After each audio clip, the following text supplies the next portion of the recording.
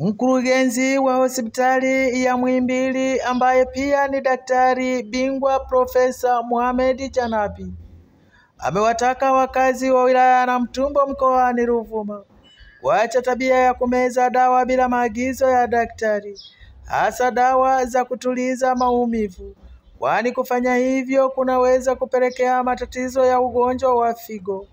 Profesa Janabi ameyasema hayo wakati akizungumza na wakazi hao baada ya kupokea taarifa kutoka kwa madaktari bingwa wa saratani ya kishingo ya uzazi, mfumo wa mkojo kwa wanaume, yaani tezi dume, kisukari.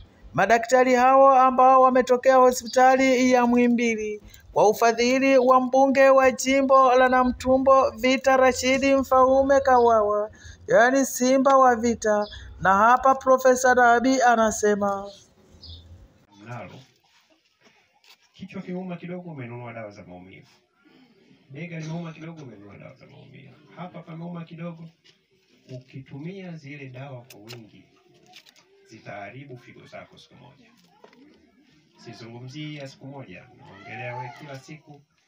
Saa zingine ukium, ukisikia kichwa kinauma, wewe chukua glasi ya maji kunywa. Inaweza kuwa una upungufu tu wa maji. Si mkija hospitali tunawekea drip. drip ni maji. Sasa unaweza kuanza kunywa maji huko kwa nyumba, kwa sababu hizo dawa zote sisi tunazowapa sehemu kubwa kwanza inaanza kusagwa kwenye ini, alafu inatoka kwenye figo kwa njia ya haja ndogo. Naomba matumizi ya dawa hasa za maumivu, sitaki kutaja majina ya dawa, lakini nyinyi mnazijua dawa za maumivu. Zungumza vizuri na yule mtu wa pharmacy pale wa duka la dawa, aidha ni dawa baridi au kule kwenye pharmacy kabisa. Zungumzeni na madaktari hapa.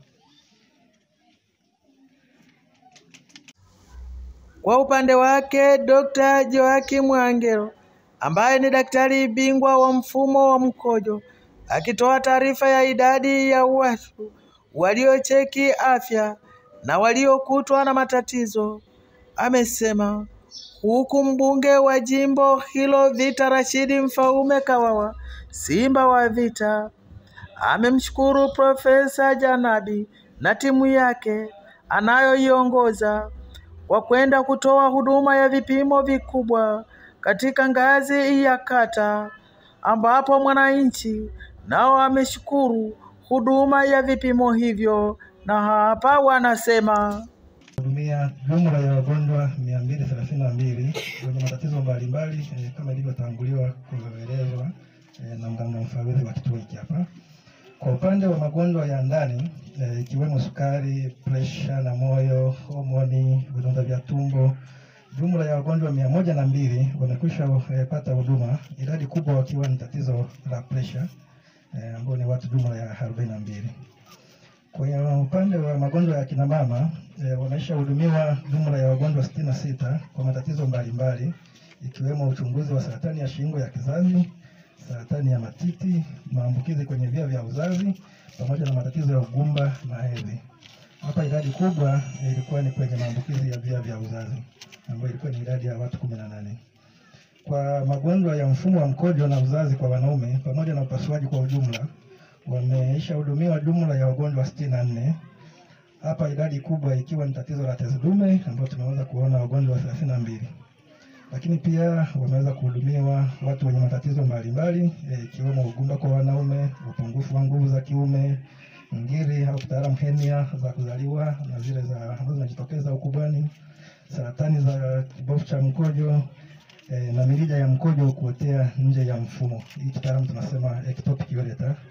E, haya ni matatizo ambayo yanajitokeza kwa mara chache. Kwa hiyo kwa katika kambi hii maalum tumeweza kum sana Profesa Janabi kwa kunikubalia maombi yangu ya kuja kuchunguza na kuwapa tiba wananchi katika levo hii ya kata katika kituo cha afya cha hapa Mtakanini.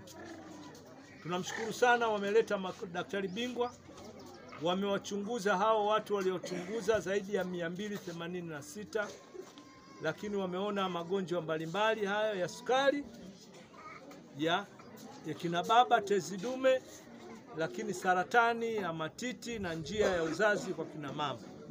Sasa hii imedhihirisha kwamba huku kwetu katika levo hizi, sio kwetu tu, nchi nzima katika levo hizi, wananchi wana maradhi haya makubwa pia, lakini ngazi ya hospitali zetu bado hazina madaktari specialist doctors wanaita, au madaktari bingwa.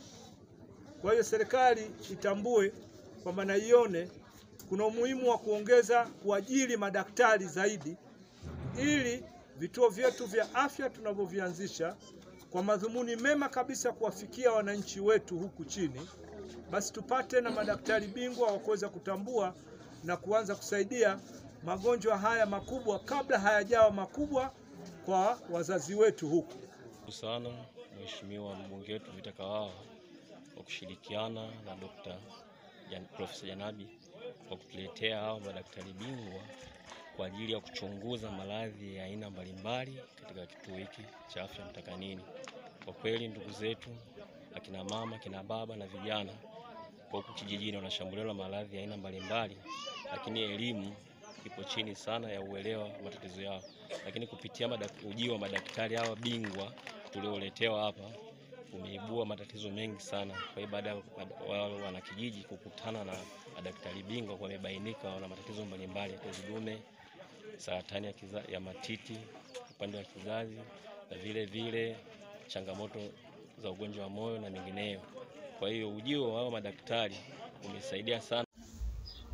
Huduma ya upimaji hiyo imefanyika siku tatu katika kituo cha afya cha Mtakanini, kata ya Msindo, iliyopo wilaya ya Namtumbo mkoani Ruvuma. Nikiripoti kutoka katika viwanja hivi vya kituo cha afya cha Mtakanini, ni mimi Amoni Mtega wa Matukio Daima TV Online.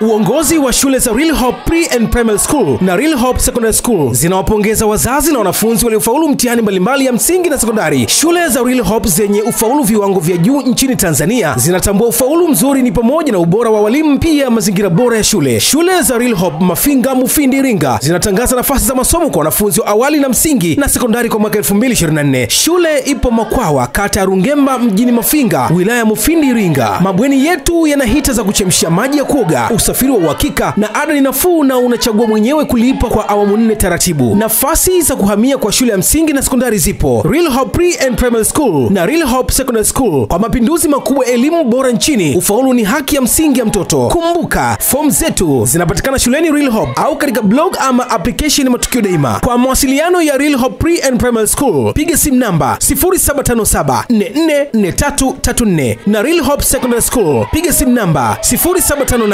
0758517557. Hakika Real Hope Pre and Primary School na Real Hope Secondary School ni shule nzuri, mazingira mazuri kuliko. na moto wetu ni prayer discipline and work Jiji la Dodoma ndio makao makuu ya nchi. Uwapo jiji la Dodoma, sehemu pekee yenye hadhi ni moja tu, ni Midland Inn View Hotel. Hapa ndipo sehemu sahihi, na hapa ni kiwango cha kimataifa, kwani wageni wote hapa ndipo nyumbani kwao. Midland Inn View Hotel, hapa utapata vyakula vya viwango, vyumba vyenye ubora wa kimataifa. Kuna aina ya vyumba mbalimbali kama vile suite room, superior room, deluxe room na single standard. Kuhusu vinywaji, tuna baya ya viwango na kuna garden nzuri ya kupunga upepo na free wifi sambamba na ulinzi wa kutosha, bila kusahau swimming pool ya kisasa na michezo mbalimbali ya watoto. Usisahau tuna kumbi kubwa za mikutano na kumbi za kawaida, hivyo mikutano, semina na vikao umefika. Midland Inn View Hotel ipo eneo la kisasa Ilazo, barabara kuu ya Dodoma Dar es Salaam. Tupigie simu namba 0763 25 55 50 au 0676 36 66 21. Barua pepe midland 023 at gmail.com au info at midlandinn.co.tz ama reservations at midlandinn.co.tz. Midland Inn View Hotel Dodoma, jiji lenye hadhi, hoteli ya kiwango.